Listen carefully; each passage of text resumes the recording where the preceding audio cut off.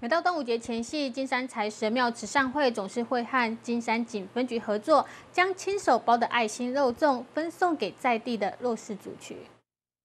端午佳节将近，家家户户都弥漫着过节的气氛。而金山财神庙慈善会每年都会准备自己包的肉粽，到石门金山万里，与金山警分局携手，一同关心地方的弱势以及独居长辈。今天金山财神庙慈善会来到石门区的老梅与派出所员警一同带着肉粽，要到独居长辈家中关怀送暖，希望透过粽子来传递过节的氛围，让地方的弱势都有个温暖的端午节。我们金山财神庙慈善会哈啊，在那个李理事长跟郭主委的带领下，非常关心我们北海岸地区的呃需要的长者啊，特地在这个端午节的前夕哈啊，接我们金山分局啊各派出所啊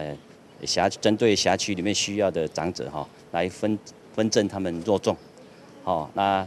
让他们分享节庆的喜悦。而金山财神庙慈善会与金山警分局合作关怀弱势已经有七八个年头，每到端午节前夕，总会到地方上辖区的各个派出所与员警一同将爱心肉粽送到独居长辈与弱势民众手中。而今天分送到老梅派出所，也是今年的最后一所，希望可以在端午节前夕尽快来将爱心粽给分送完成。哎，就是那个老人家，你万金石都要嘛。哦啊，就是配合我们这些金山分局这些警员哈，还有我们的所长，还有我们分局长，独居老人嘛，啊年纪比较大了，啊他没有办法，还还有一个还有一些长者啊，他们没办法绑肉粽，啊所以说我们把我们的爱心也传送给他们，让我们端午节让他们有感觉，哦端午节到了啊有一个节庆。因为老老年人嘛，他们都希望有节庆的时候，就是说端午节啦、过年啦，他们都是很重视的。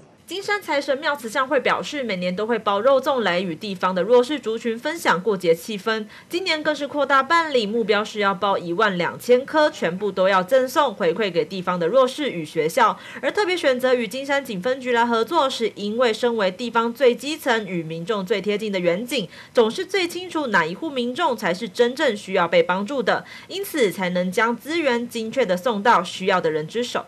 记者李佑廖品涵石门采访报道。